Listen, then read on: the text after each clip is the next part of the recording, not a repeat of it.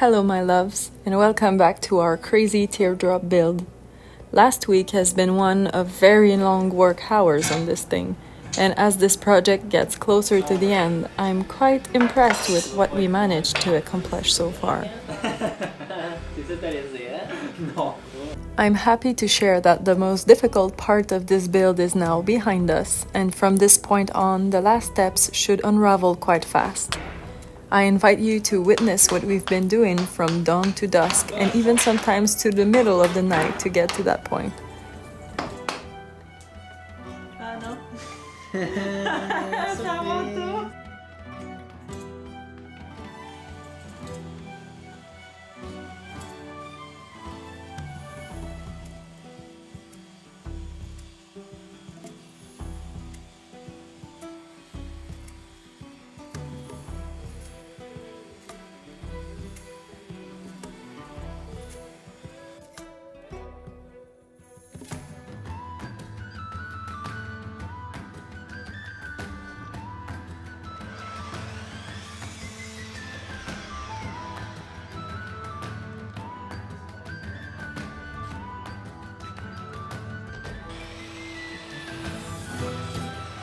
Entre moi et mon travail.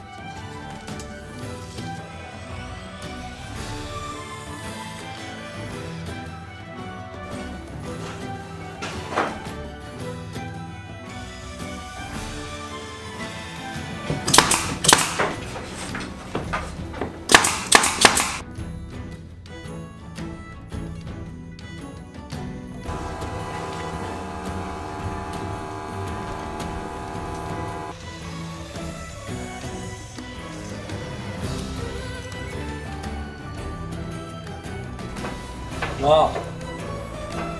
Non. La peur, hein Ah, ben là, lui, ce quoi,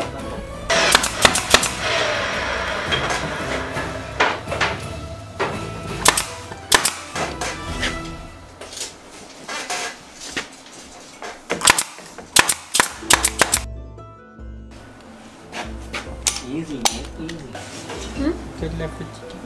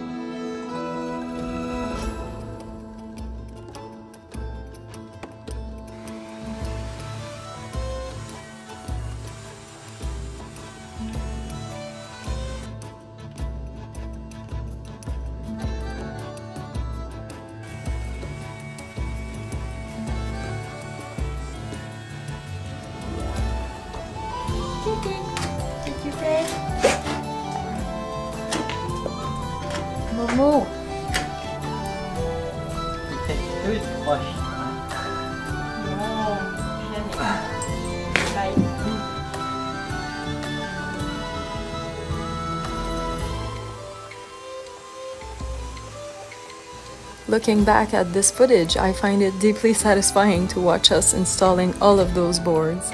It was quite a challenge to fit all the pieces to accommodate the round shape of the camper, but the result is quite worth the struggle.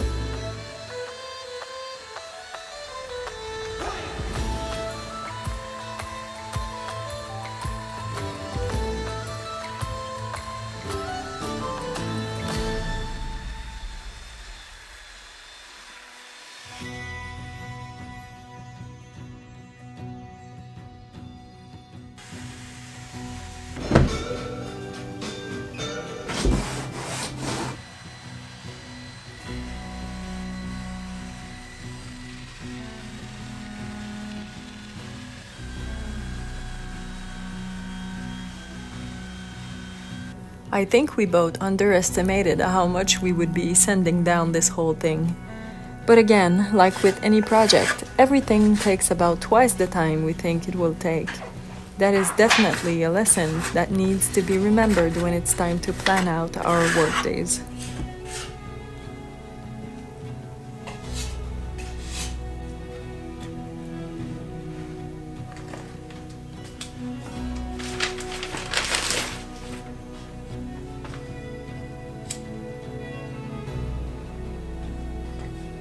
I don't know if some of you noticed, but we are basically building this teardrop like we would a boat. Since the wood will be out in the elements, we wanted to make sure it will be well protected and thoroughly waterproof while also staying visible to create this very unique outlook. That's why we decided to make a fiberglass shell that will provide both solidity and a strong barrier from the weather. We don't have much experience with the process of fiberglass, but Remi had at least some experience with resin, which can be very tricky to properly use. Since it was the scariest part of the project, we made sure to prep our surface very well to avoid the epoxy resin from seeping through the little cracks and nooks of the wood. We also applied the base coat of resin over the entire camper so the wood would soak up as much resin as possible before we put on the fiberglass cloth.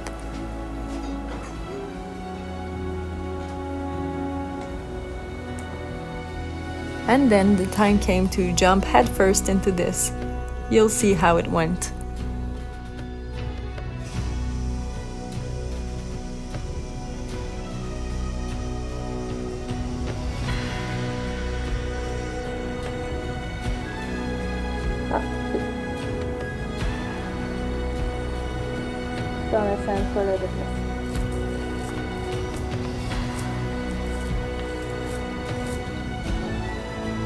离婚。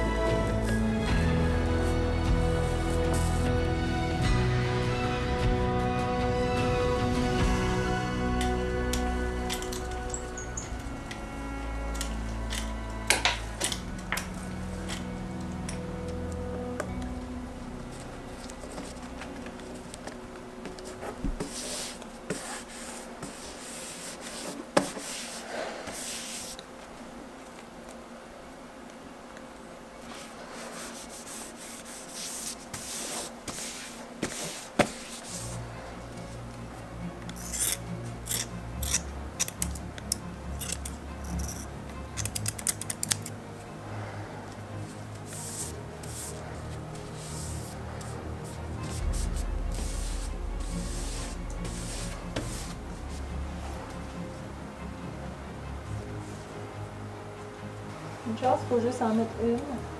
Deux. Couche de tissu. Ouais.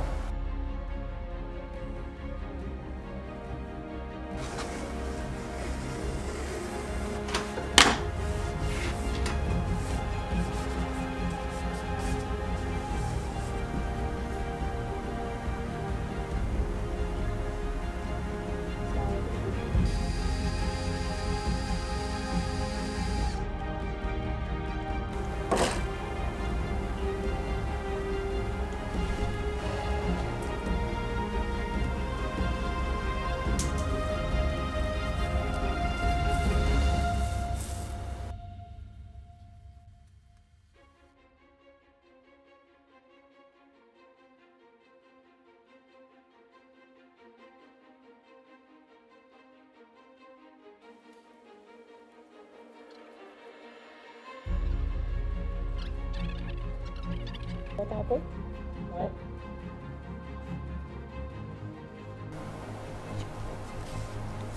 Making the corners went surprisingly well, even though we left little bumps here and there in some places.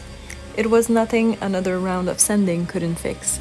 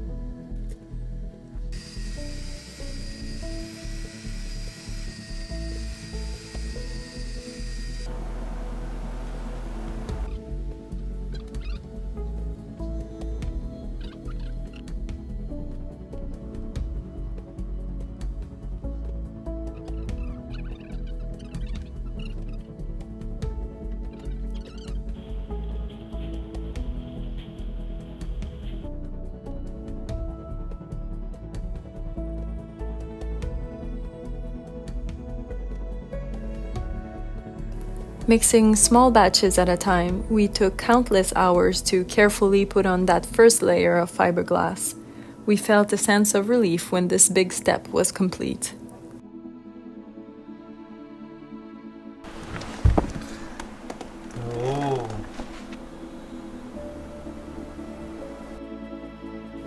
After that, it was time to sand again and apply multiple more thin layers of epoxy to properly seal everything and ensure a smooth finish.